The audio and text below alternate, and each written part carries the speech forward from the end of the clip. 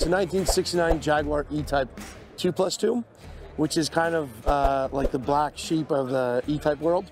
Um, E-Types are known for being one of the most beautiful cars from the 60s, and uh, the 2 plus 2 had an interesting roof line.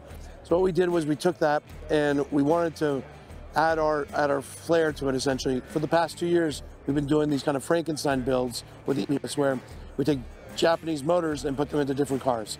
So we did a F20, which is a S2000 motor, into an E30, and then we did a uh, EJ25 STI motor into a 997 GT3, and now we did this with the E-Types. E-Types originally in the early 60s were built, uh, they actually had factory-built race cars. They're called the lightweights. And we tried to get the styling from those fenders and add them to our car. It was done by 3D printing. So we scanned the car, and then they designed the, the fenders around kind of like an exaggerated version of the old lightweights. And sticking with that, that Japanese and like European Frankenstein build, we put a 2J in it. So I, I love 2Js. I compete with a 2J in, in, Formula Drift Pro Spec. I used it in Pro 1 when I was in Pro 1. I, I, super simple motors. They make a lot of power. They're a lot of fun to drive. This is a 3 liter motor, CP pistons, Carrillo rods, Borg Warner 8474 turbo about 750 horsepower. The V-mount setup on the front is interesting because we had to essentially come up with a way to package the intercooler.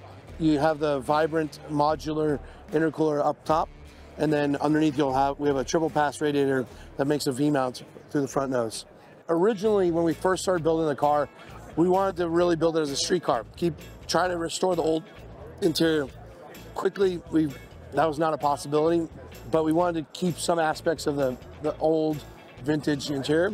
So we took the original uh, dash cap, we had that recovered, and then we uh, it, the car runs on a link, just like all the Pro Spec cars do. So this is on a Link Fury, and uh, we have a link dash on there. Um, just kind of simplified all the interior. The seats are Tillett carbon seats.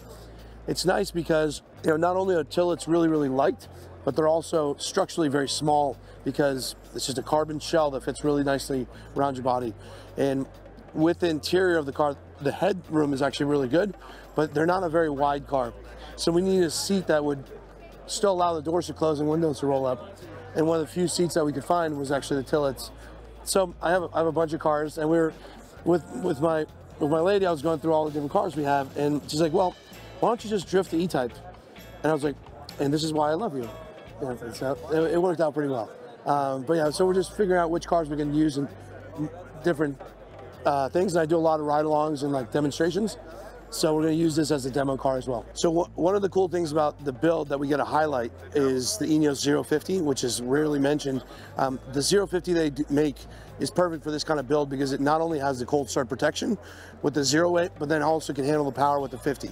So 750 horsepower, but I can still drive it on the street and start in cold weather. It's pretty much a perfect platform for that. For us, we love racing heritage. I think where we are today in the world is, is because of our history, right? And keeping, especially the younger crowd, understanding there's a lot of history in racing, um, it gets forgotten. And so the E-Type's history, and, especially like unibody racing, is uh, is pretty epic.